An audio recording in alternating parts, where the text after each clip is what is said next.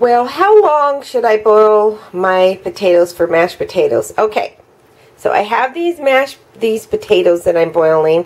Basically, they are.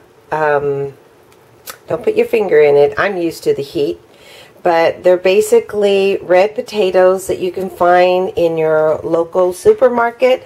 These are organically grown, non-GMO, and um, I do have they're beautiful, large, red, blue potatoes. So um, I'm going to boil them for about 15 to 20 minutes until they are tender, where I can easily peel them.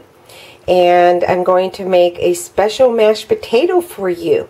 So hopefully um, you have some potatoes. If not, um, I got these. They're a little on the pricier side because they are organic. These potatoes are non-GMO, organically grown um, in the United States. So, um, so that's pretty much sustainable and farm to fresh. So when I come back, I'll show you how to make this wonderful potato, mashed potato recipe so um, that I found that I want to share. Okay, I'll talk to you soon.